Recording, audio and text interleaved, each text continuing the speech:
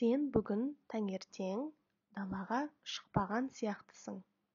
Оның орнына не істедің? Мен сол уақытта ұйықтаған шығармын. Мұғалім мен тестті бітірдім. Қарап жібересіз бе?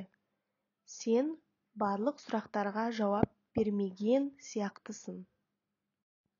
Мен дайындаған наурыз көженің дәмін көрдің бе? Сіз көжеге тұзды аз салып жіберген сияқтысыз. Балалар не істеп жатыр білесің бе? Олар далада алты бақанды ойнап жатқан шығар. Сен наурыз мейрамында не істейсің? Мүмкін шымкентке баратын шығармын. Наурызды отбасыммен өткізгім келеді. Сендер ертең жолға қаншада шығасыңдар. Біз ертең жолға шықпайтын сияқтымыз. Себебі алуа ауырып қалды. Өткен шақтағы сөйлемдерді құрастыру үшін етістіктің түбіріне ған ген қан кен суффикстерін қосамыз.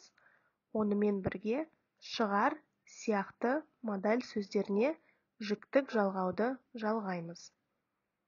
Осы шақтағы сөйлемдерді құрастыру үшін етістіктің түбіріне ып іп п суффикстерін жалғау арқылы және де етістікке ған ген қан кен суффикстерін жалғап модаль сөздер шығар сияқтыларға жіктік жалғауды жалғаймыз.